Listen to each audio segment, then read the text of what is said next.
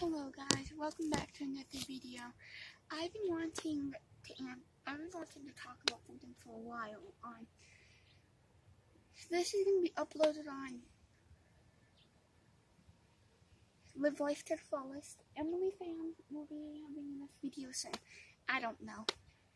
What type of video I'm gonna do yet, but I'm doing this video soon. Um some people say losing a parent isn't it's about this gonna be about losing a parent. If you wanna click off the video you can.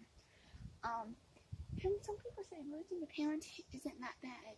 It's not it is in a sense i mean i'm only 15 and my mom died almost four months ago. October 25th will be four months. And i still miss her. I will for the rest of my life people, I think it's true what people say. You don't know what you have until it's all gone. Until you lose it.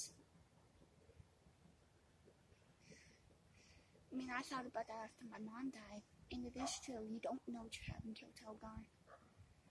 I mean, I still think about that day.